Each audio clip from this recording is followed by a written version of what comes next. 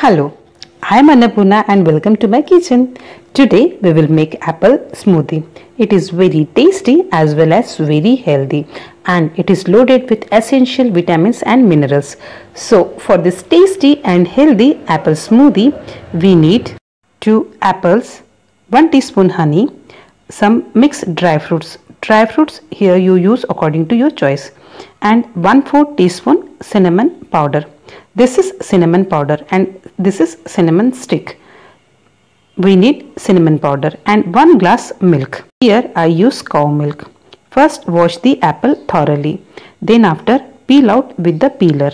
This video specially I am making for the kids. So while cutting and peeling take help of your parents. Don't use any sharp knife or peelers.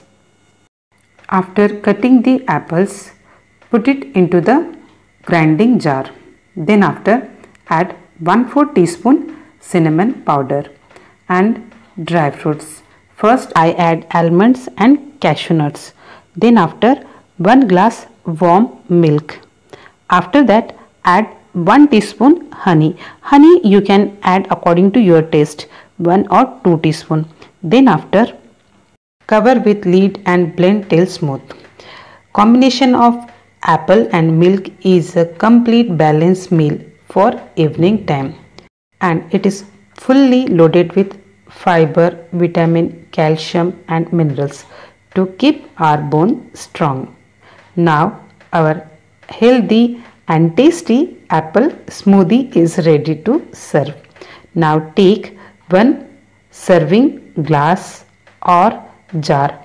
Pour apple smoothie into the jar and garnish with chopped dry fruits and cinnamon powder. After that, serve or drink this apple smoothie immediately. Don't keep it for long time. And if you want to make it more delicious, then add 1 scoop of vanilla ice cream. Otherwise, you can enjoy as it is. So make this tasty healthy apple smoothie and enjoy with your family and friends.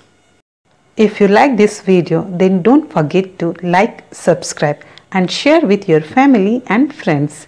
Thank you.